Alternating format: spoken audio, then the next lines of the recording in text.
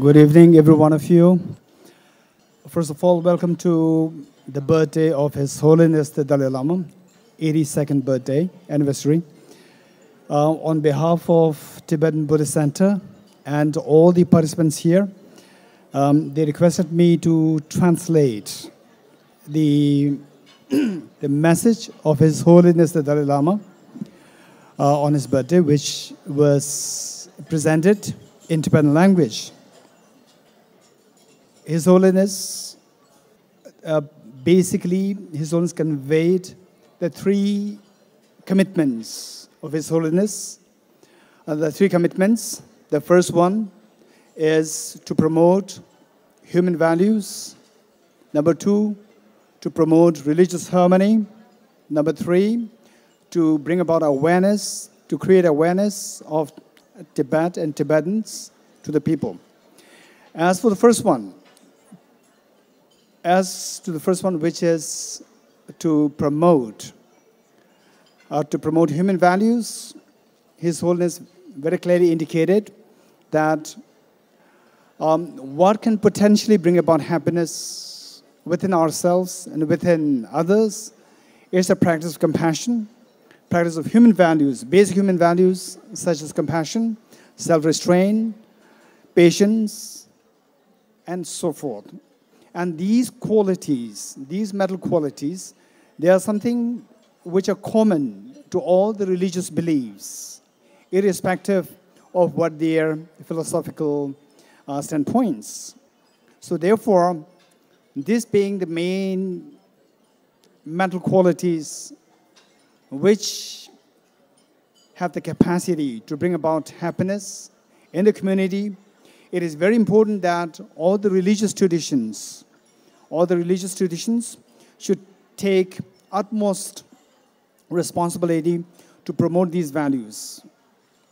And in order to, in order for these the religious, different religious faith, faith traditions to make this possible, the first thing that we need to keep in mind is pertaining to the second commitment. The second commitment, which is to promote religious harmony.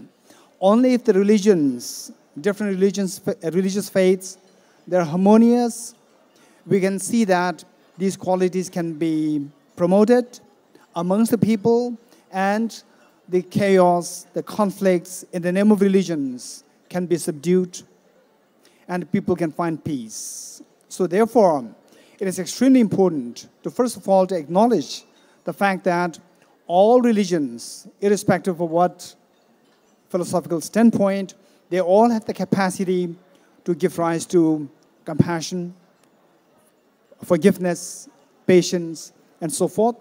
And it is extremely important that the religions, they first of all, they come together in harmony to work, to work for the welfare of the humanity. Otherwise, at times, religions which are meant to, to create harmony amongst the humanity, the, amongst the people, they can potentially create disharmony and discord. This is a very sad situation.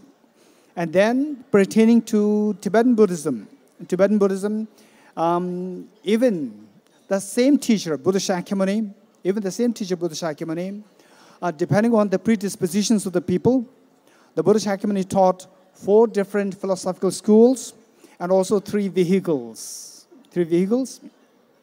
If this is what is happening, the diversity being taught by the same teacher, um, what can be mentioned of the diversity in terms of the philosophical standpoints uh, presented by the different, uh, different religious faiths. So this is bound to be there, but these differences in the philosophical standpoint should not be the basis for the disharmony. Instead, they should be the basis for bringing greater harmony and uh, the, say, friendship amongst different traditions, through which we can see that the world can find a happier place. And, and Tibetan Buddhism, Tibetan Buddhism is grounded on the teaching of the Buddha Shakyamuni, the teaching on emptiness, on the basis of this, the understanding of emptiness, the teaching on the truth of the cessation, the truth of freedom from the miseries, and the truth, truth of the path which can potentially lead the beings, the people, to the freedom from suffering or the nirvana. So uh, this is the, the basic, the tenet system of the Tibetan Buddhism. And number three, uh, the, the uh, th commitment number three, which is to create about the awareness of the Tibet and the Tibetans.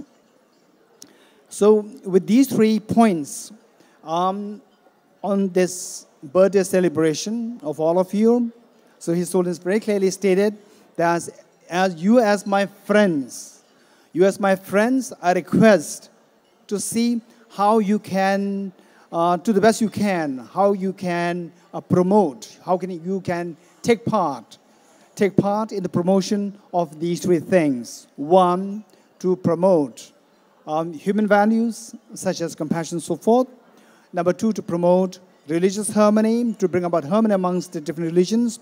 And number three, to bring about awareness about Tibet. Thank you very much.